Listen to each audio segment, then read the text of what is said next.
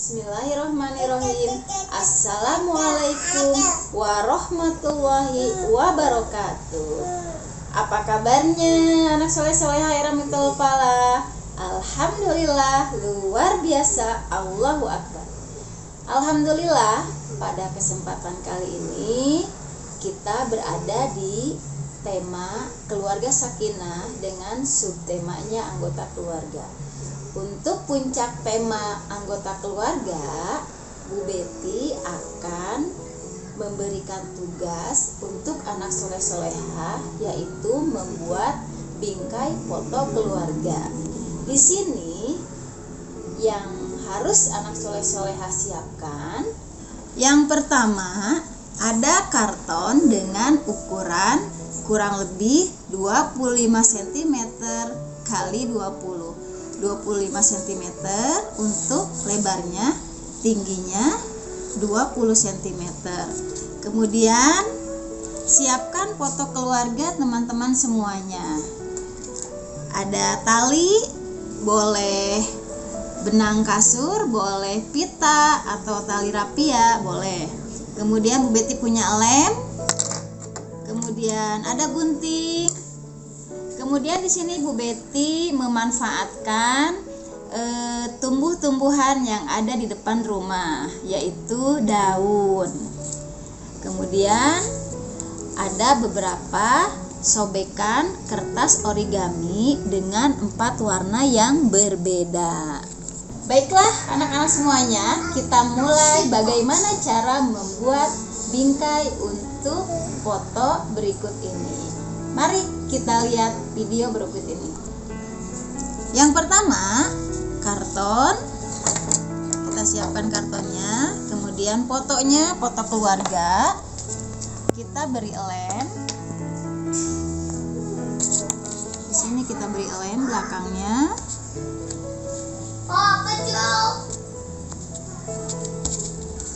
Kita tempel di tengah-tengah.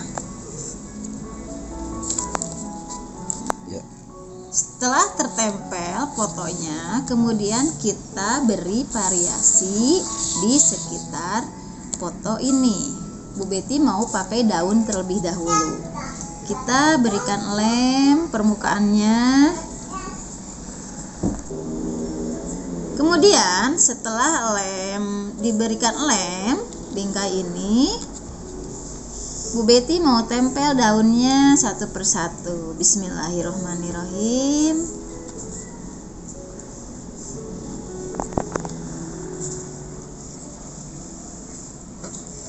Alhamdulillah. Anak soleh soleha nanti mencari daunnya yang bagus ya.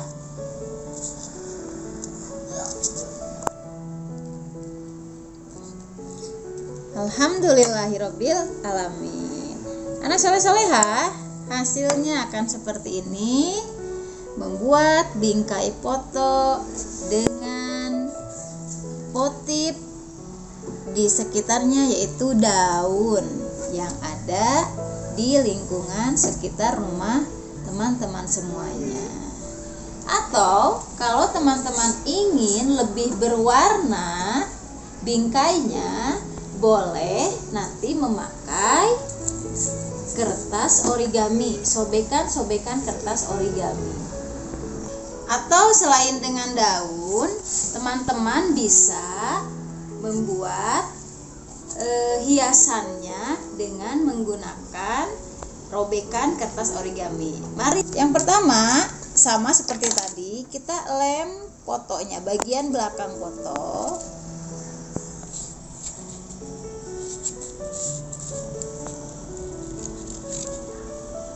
agak banyak ya anak soleh soleha biar nempel. Kemudian kita tempelkan di tengah-tengah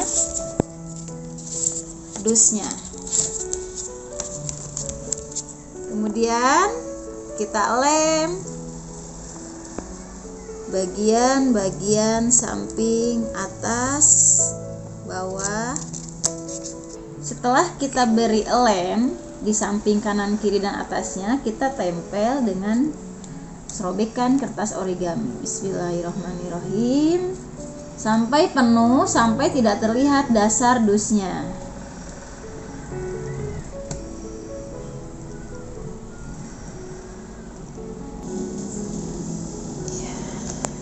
Alhamdulillahirobbilalamin Anak soleh-soleha di sini sudah tertempel semuanya robekan kertas origami dengan empat warna pink, biru, oranye, dan hijau. Nah, untuk langkah terakhir yaitu kita akan memberi lubang pada bagian permukaan atasnya dengan menggunakan gunting. Bismillahirrahmanirrahim.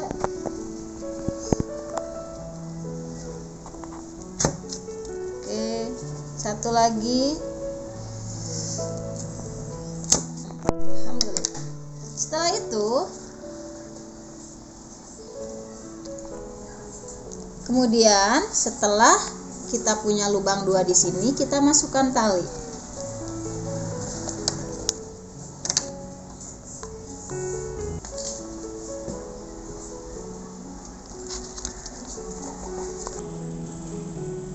kita ikat ujungnya Alhamdulillah talinya sudah terpasang teman-teman sebelum kita gantungkan foto ini di dinding teman-teman punya tugas lain yaitu menghitung jumlah keluarga yang ada di dalam foto ini. Mari kita hitung sama-sama ada berapa anggota keluarga teman-teman semuanya? Di sini anggota keluarga Bu Betty satu, dua, tiga, empat, lima, enam.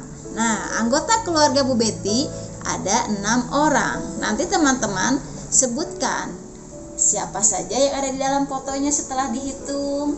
Di sini ada ayah, ada ibu, ada Bu Betty, ada suami, ada ibu, ada kakak. Nah, nanti teman-teman sebutkan siapa saja anggota keluarga yang ada di dalam foto itu setelah dihitung. Baiklah teman-teman, kita gantungkan foto ini di dinding. Ya, kita tempel foto ini di dinding, di paku setelah pakai paku. Alhamdulillah. Seperti ini anak soleh-soleha fotonya sudah jadi dengan bingkai yang sangat bagus dari bahan alam yang ada di rumah kita yaitu daun-daunan. Kemudian satu lagi Bu Betty di sini punya fotonya dua yaitu bingkai foto dengan variasi tempelan sobekan kertas origami yang berwarna-warni dengan empat warna yang berbeda. Itu saja dari Bu Betty anak soleh soleha. Nanti teman-teman semua dikerjakan dengan membaca bismillah terlebih dahulu dan diakhiri dengan membaca alhamdulillah. Alhamdulillahirabbil alamin. Assalamualaikum warahmatullahi wabarakatuh.